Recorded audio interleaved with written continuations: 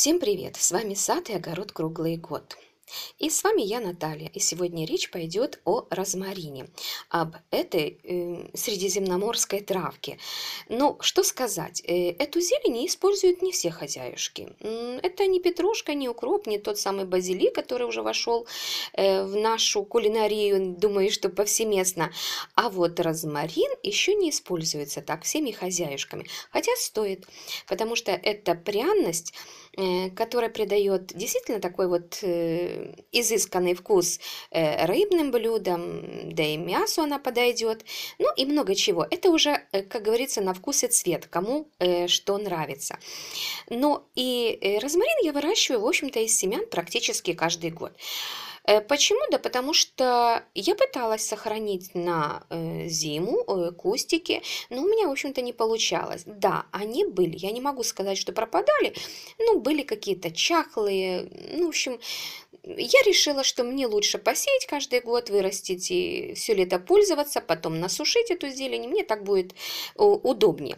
Итак, я выращиваю из семян. Кстати, в этом году я э, посеяла вот фирму Яскрава, я очень довольна, хотя, вы знаете, розмарин я высеваю в декабре, в январе, заранее, а в этом году чуть попозже, но взошла буквально на десятый день, вот эти семена взошли, э, что для розмарина очень даже, ну, тяжело сходят семена, а, может быть, свежие были семена, я не знаю, но я очень довольна.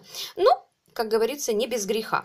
Э, я э, просто уронила плошечку, и у меня осталось несколько. Вот я перемещала свои тут растишки на окошке, когда там э, распределяла вот ближе к лампе, выше к лампе. В общем, ну, в общем, было такое, что я уронила, и у меня осталось мало. Ну, этого достаточно. Но в этом году я решила еще размножить и другим способом. Черенкованием. Я на рынке просто купила веточки розмарина, использовала для чего мне надо, а потом пару веточек решила э, посадить в грунт. Как я это сделала? Элементарно, просто без всяких премудростей. Э, нарезала черенки. Ну, они были, наверное, сантиметров 10, вот такие вот, не, не очень, они же вот есть и довольно-таки длинные паганы, а это у меня были небольшие. Я их нарезала на маленькие череночки, ну, сантиметра 3-4, ну, в общем, каждый я делила на 3 штучки, вот так вот у меня получилось, и посадила. И что же произошло? Посмотрите, э, вот пошли молодые паганы, видите? Вот, вот здесь вот череночек, видно, что верхушка обрезана, и пошли молодые. Видите, я просто воткнула в землю, больше ничего. Единственное, что вот э, пакетик видно, да, я сразу, так сказать, обхватила пакетиком сверху, и они у меня были, ну, недельку, наверное, вот в таком вот парничке. Но надо было следить э, за, влаг, э, за влажностью, потому что потом вижу, начала немножко плесневеть земля, то есть открывать надо такой этот вот э, парничок. Вот и все. То есть намного проще, чем выращивать из семян. Я для себя решила, что, возможно, буду и дальше так поступать. Насадить черенков, пожалуйста, они быстро развиваются, и даже можно каждый раз вот свеженькие, не оставлять их э, до одревеснения, а вот такие вот молоденькие использовать.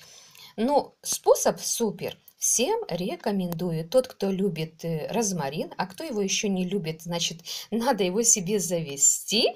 Э, сегодня я буду высаживать уже в грунт. Буду высаживать в грунт, высажу вот эти вот свои растишки, вот эти черенки, а также из семян. Э, но, правда, Возможно, и накрою бутылками. Э, Все-таки перепад температуры, и это нежное э, растение, поэтому, наверное, все-таки под бутылками без крышечек посажу. Ну вот и все. Ну что ж, хочу вам показать вот еще весна, да, абрикоска перецвела, вишенки цветут. Хорошего вам настроения, хороших выходных. С вами была Наталья. Ставим лайк и обязательно заводим себе розмарин. Всем пока!